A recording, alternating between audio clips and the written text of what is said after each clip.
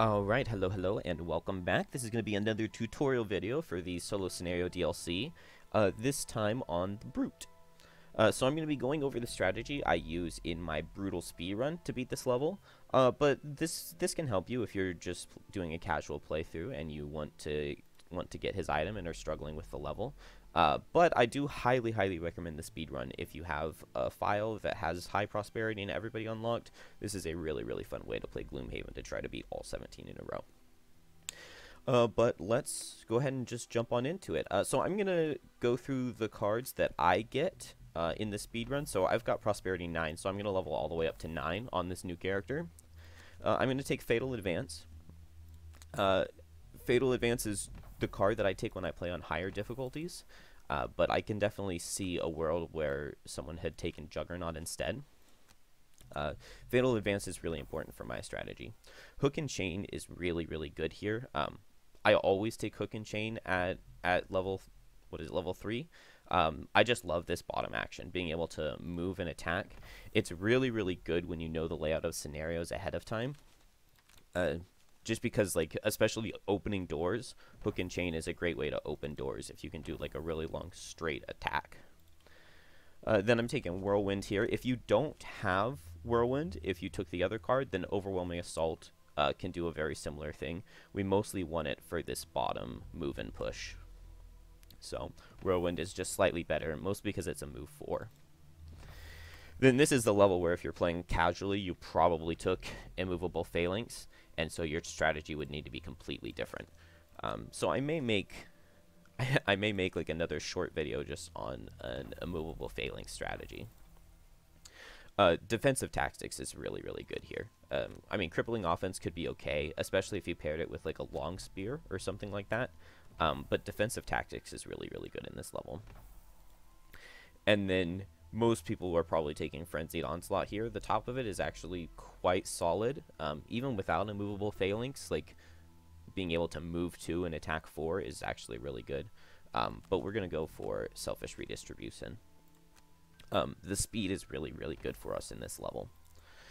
And then our level 9 card, we're going to take Face Your End. So this is, I'm going to be playing it on um, on brutal difficulty, so these will be max difficulty monsters. I highly recommend um, that unless you're going for like basically the exact layout I'm going for in the speedrun, that you play against some lower level monsters because this level is very, very, very difficult. Uh, but these are the cards I'm going to take. I just take Provoking Roar because the speed is really important. 10 speed is really good. The disarm is also really helpful. Um, there are multiple times in this level where there will be two enemies next to me, and I can disarm one and then do something useful with my bottom, like kill with face your end or push into traps with whirlwind. Then on to perks. Obviously, we want to take all of the minuses and then just add as many cards as we can um, that can potentially do something. Um, in the speedrun, I don't take the add target, so I'm just not going to grab it here. But if you have it, that's fine. Now, the brute deck really, really sucks, and this is what makes the level so hard. All of these modifiers are pretty bad, and then you don't have any, um, you don't have any rolling heals, and you don't have any rolling damage. So you're never going to get like rolling plus one, rolling plus one crit, or something like that. Um, but this is what we have to work with. Luckily, there are a lot of plus ones, um, and so like that's the most frequent card that you'll get. But we'll just have to see what happens. So for my strategies, I do go ahead and get a pair of blesses. We're going to do a bunch of attacks in this level, and so critting any of those enemies is, is very helpful. Then Eagle Eye Goggles are really important here, since we have such terrible, um, such terrible modifiers, being able to always get the better one can save you at least some of the time then an invisibility cloak. When you're playing solo, an invisibility cloak is really, really important. Um, I don't think this level is really doable without it. Then for hand items, there are a lot of choices here. If you have a long spear, that is a really, really good item. Um, with the build I'm going for, I won't be really be hitting multiple targets. ever, um, and so I want the highest single target DPS I can get, and so Jagged Sword and Poison Dagger are really good for that. Also, the only enemy in this level that can heal are the skeletons, so a wound will eventually kill all of the guards and the archers. Then I bring Boots of Dashing. You just have to have the the extra move 3, um, and you'll see why. Um, but you always want Boots of Dashing or Boots of Speed or Sprinting on the Brute. It's just really, really good with Balanced Measure. Then I have very little gold left, um, but we took Quietus, which allows us to kill stun targets. So we're going to do a stun powder. And then I only have 10 left, so I'm just going to get a minor healing potion and a minor stamina potion. Um, obviously, if you have more gold than me, then major potions are really good. If you have access to any of the cure potions, those are really, really good here because uh, you can get poisoned by guards, poisoned by the archer, immobilized by the archer, and a cure potion can can be the difference between winning and losing. Also, a moon earring is really really good to get your your boots back for for balance measure, to get your swords back, and to get eagle eye goggles back. Um, is there anything else worth mentioning? Um, oh, and then rings of brutality and rings of haste. Um, especially, especially, especially if you're playing immovable phalanx Ring of Haste is super, super good paired with Balance Measure. So these rings are generally really, really good on the Brute. Um, but if you're going for this Stunning Quietus build like I am, then uh, Ring of Haste isn't that important. Uh, so I think that's everything. Let's go ahead and jump into it. Um, so this level is just, it's Black Barrow. It's exactly the same. Um, the only difference between this and regular back Black Barrow is that the enemies are actually at minus one difficulty. Um, so you will never be facing full level 7 monsters. They'll just be level 6. And then you get two fewer starting locations to choose from, which is kind of annoying. Um, it would be really nice if you could start here the way you can on normal Black Barrow. Actually, I think you... Do you have seven locations normally? I think you do. Uh, anyway, we're going to start with a um, hook and chain and quietus. So hook and chain gives us access to a move and attack bottom. And so we can throw our stun powder on that attack and kill with Quietus. Ooh, this is a really, really good RNG. The only thing that can go wrong here on turn 1 is if they move at 30. Because if they move at 30, they will surround you. And then uh, since you do a move 0 with Hook and Chain, it won't let you do the bottom attack. And so if they go at 30, you basically just have to restart the round. Everything else is fine. Uh, but this is the best possible case where they um, they didn't move, or where they went faster than me and didn't hit me. So if they had both moved up, then I would go Provoking Roar with Face Your End. But since this guy is far away, I'm going to go Defensive Tactics um, to immobilize him. And now he might... Okay, he could have gotten his ranged card, and then he would have still been able to attack me, but it wouldn't have been a big deal. So we'll kill the Elite. Um, now, this I'm only able to do because I'm level 9 with the level 9 card, but it is using a lost card to kill him. It's possible to use stamina potions and to kite them out with things like defensive tactics, and especially if you put the poison and wound both on the elite, you can kill him um, without playing a lost card here, uh, which is definitely better. Um, but uh, I'm doing this for speed, and so I play the lost card here. It makes the scenario a lot harder. Um, just stamina-wise, it's a lot more difficult. So now I really want my poison and my wound on this guy, so I just went for Provoking Roar. It'll keep me safe, keep my health up, which is really important. It kind of hurts to see the miss, especially given how many cards I could have possibly drawn. The only things I've drawn so far are a zero and a miss, so that kind of hurts. Um, but at least now we've got the poison on him, so now we'll deal extra damage. Uh, this is why I bring Selfish Redistribution. Um, it, it gives us a really fast card, so we know we will be faster than him.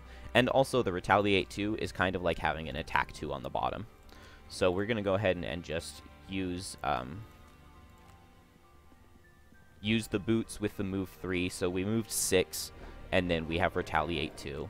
And so we're getting to attack for 7 with the poison. We'll throw the Eagle Eye Goggles here. And he's going to die. He'll take 1 from his wound, then 2 from the Retaliate. and 1 from his wound. So before we go into this next room, we're going to want to go ahead and rest. The card that I lose here depends on how much health I have. So since I am very high health, I'm going to go ahead and lose Selfish Redistribution. The only reason I want this card is to have another card that underspeeds their 15 so that I can dodge a uh, standstill and attack with poison. Um, but since I'm nice and healthy, I don't really need to worry about that.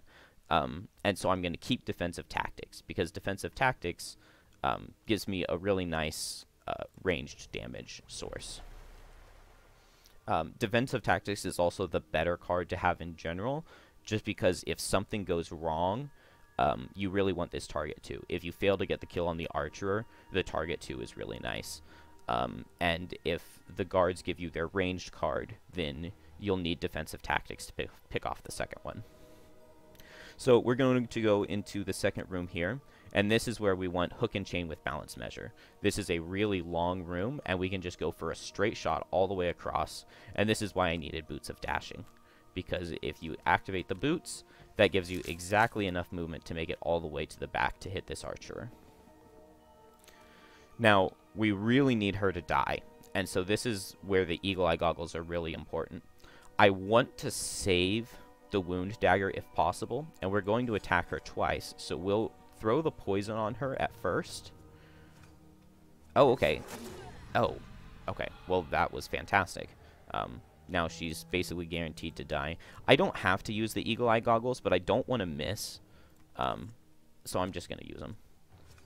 Okay, good. So she died. Um, she dies as long as you get a 0 and a plus 1 if you use both the Poison Dagger and the Wound Dagger. So you're very, very, very likely to kill her, um, especially with Eagle Eye Goggles. Um, but critting her is obviously nice. Now, on these guys, they're going to walk up to me, which is what I want. Um, if they had stood still, that would be fine, because I have Whirlwind, and so I would be able to move one, two, three, four, and push... Let me push this guy into the two traps. Um, but since they moved forward like this, this is this is good. The only thing that can go really, really wrong here is if they had drawn their ranged card, because then they would be standing here and here, and the guy I would be pushing would only go into one trap instead of two. And that would be a reason you want defensive tactics, because uh, this trap is going to deal 9 damage, so he would have he would have like 7 health left, and defensive tactics would give you the chance to, to kind of pick him down. Um, and then a rolling push can help you push into the other trap. But this has all gone pretty well. And this is a very good reason to use Provoking Roar is against this 15. So we can just stand still and push this guy into two traps, and he's dead. And then the reason we really wanted to save that Wound Dagger is now even if we don't kill this guy on this rest cycle, we can just take a nap in front of him. Like, we can get up to this door and and just go to sleep on this guy and he will die to the wound eventually we're going to be spending like five turns in this room and we're going to be invisible for basically three in a row um, so he he having wound is really nice against him go for Defensive Tactics Quietus here. This way we're going to be faster than all of his move cards. Um, cool. So I'm just going to move away from him to get rid of the disadvantage and then get the plus one damage on Quietus. And so now this will be an attack for three. Oh, wow. Another crit. That's kind of crazy. Um, so this has been very, very good luck um, on my attack modifiers, but it definitely wasn't necessary anything. He may be faster than me, he may hit me, um, but he wasn't, and so now we're pretty likely to kill. Even if we don't, though, um, even if this misses, it would be fine because we were able to save the wound for him. So go ahead and long rest, give off all of our items back, and now we can lose defensive tactics. Um, we're going to be using kill cards for everyone else, so we won't have two targets. Now we just need to move four because we want to get to this hex, but we do have boots. I'm going to go for Whirlwind. It just gives me a move four and Fatal Advance. So this room is the most difficult room, and so I've saved most of my tools for it. So Fatal Advance is just going to allow me to kill one of the skeletons straight up. And then I can go invisible, and I don't have to worry about any of the damage coming out here.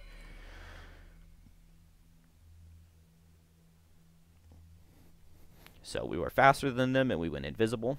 and now we're going to go slower than everyone. Unstoppable Charge is slower than every single card these guys have. So we are guaranteed to go last here.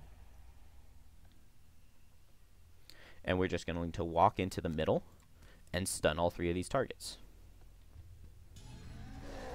And then we will use Quietus to kill one of them. And now we Stamina Potion back Quietus.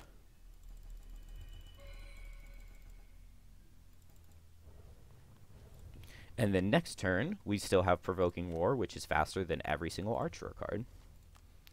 And we can get a kill. Let's kill this one. And then I'm just going to step away from her. Um, this way, uh, like my next turn, I only have two cards, Hook and Chain and Balanced Measure. So I'm going to most likely use Hook and Chain to move two, attack two, and then just do an attack two. Um, kind of unfortunate at this point. I don't have any cards to give me like really, really good damage potential. Um, but here, I mean, double swords work pretty well. So, an attack 2 and an attack 3 because of the poison. And she's wounded. You can see that we're guaranteed to win this. Um, we, we could probably survive 7 turns against her, given that we have the health potion. And we could just long rest here, um, but I don't need to. I can short rest and guaranteed go faster with uh, Provoking Roar. And then Hook and Chain gives me an attack bottom, so why not? Uh, ooh, Immobilize card. Um, the Immobilize card is very dangerous, but not something we needed to worry about here. So I definitely got really good RNG on on this run. Um, one thing that you can do if if you fail to get the kill on this archer is you can just restart the round and um, change where you eagle eye goggles because you can you have two different attacks you can use it on so you can use that to dodge the miss if the miss comes out on her um, but overall that is my strategy for this level so I hope it helped you out and feel free to leave a comment if you're struggling or or if this worked for you. have a good one guys. thanks